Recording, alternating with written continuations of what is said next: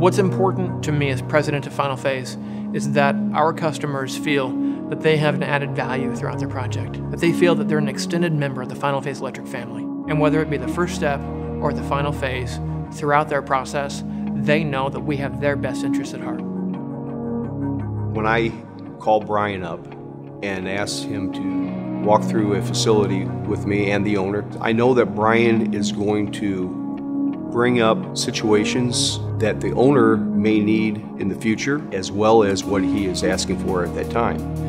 One thing that we find when we come into contact with especially new customers or people who aren't familiar with large building projects is what questions to ask. And so as an electrical contractor, what we try and do is partner with those folks, not just as another contractor that you're hiring, but as someone who's going to understand what questions to ask to educate our customers on what it means to hire an electrical contractor, what their system needs to perform at, and how they need to plan for the future.